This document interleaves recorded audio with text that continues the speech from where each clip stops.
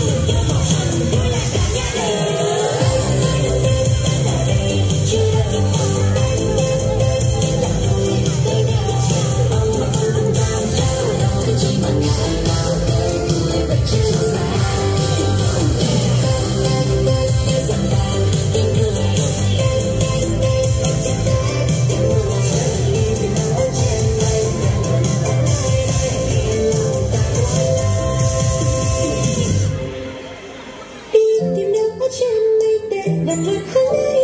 you